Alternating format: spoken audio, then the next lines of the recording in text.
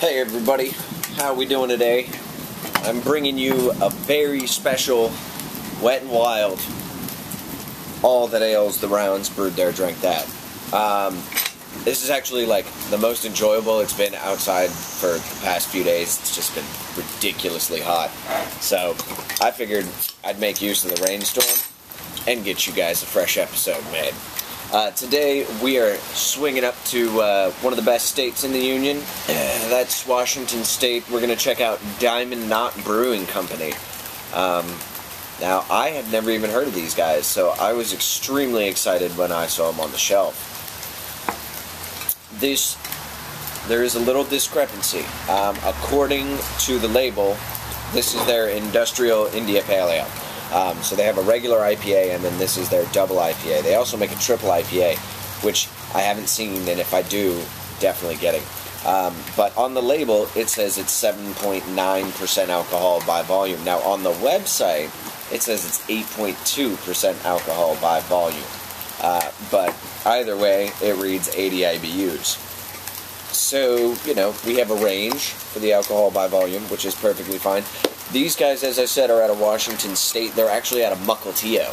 Um, and for those of you in the greater Seattle area, I'm sure you're familiar with Mukilteo. You've probably hung out at the casino once or twice. That has nothing to do with this.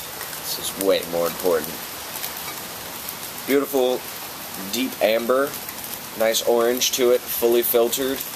Got a rocky off-white head. Seems to be pretty well structured. Mmm.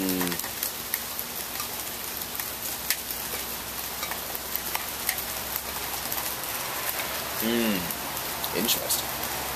Got a nice kind of. getting almost like a cascade kind of spice out of it. A little piney, a little resiny. Very nice.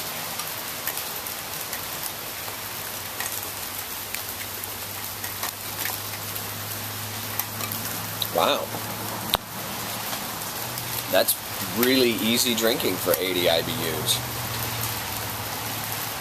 malt character is present.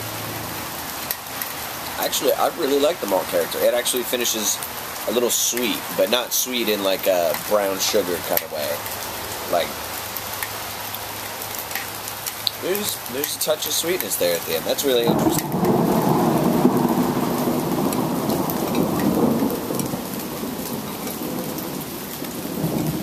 Mm. Hop forward. Um, it actually, there's a nice floral spike about two thirds of the way through the palate. Uh, but that malt, I think they, they complemented it really well.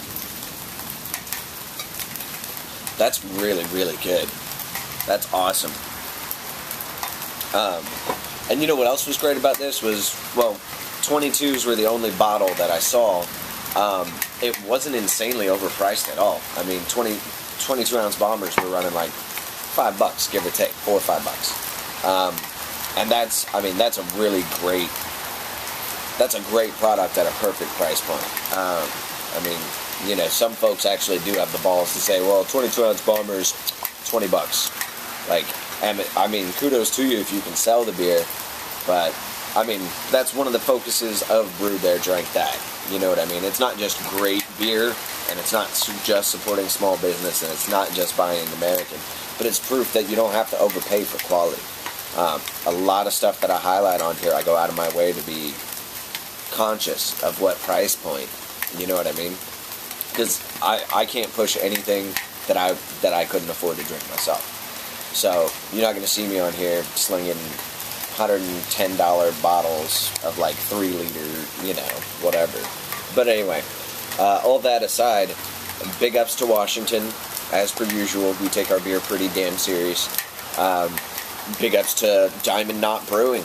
Um, I I didn't know you guys were even from my home state, and I'm definitely swinging by to say what's up the next time I'm out that way. In the meantime, guys, I hope you're having a great day. I certainly am. I'll see you over our next pint.